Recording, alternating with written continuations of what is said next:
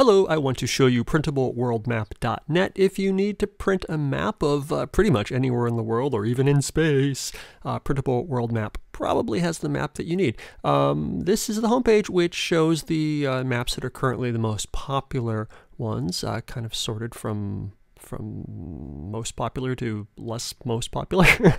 um, uh, blank world map tends to be uh, right on top of the pile. So there's a several versions of each map. Here's a, a, a blank world map. I'm going to click it and it, will show us a, a, preview of that.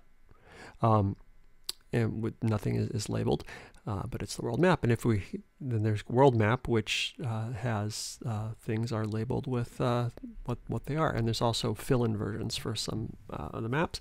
Uh, so if you want to quiz yourself and see if you can name all the states or the countries or the continents or whatever, you can do that. Um, there's continent maps, country maps, state maps, county maps, that sort of thing. I like the topical maps, which are a bunch of fun ones. You got time zones and hemispheres, and uh, planets and tectonic plates, um, and uh, all sorts of various maps that are worth worth checking out.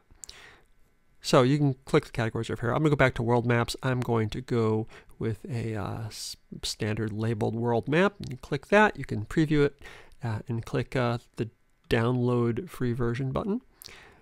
They're all free on this site. And then click download your printable map. It will save a PDF to your computer uh, to wherever your web browser likes to uh, save downloads. That's probably the downloads folder and then I'm going to click to open the PDF and here it is. Here's, here's what it's going to look like when it's printed. You hit Command P on your Mac or uh, Control P on your Windows machine to print out the map. Print. And that's it.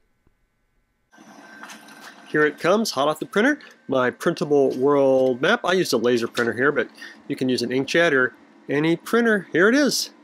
I've got the whole world in my hands.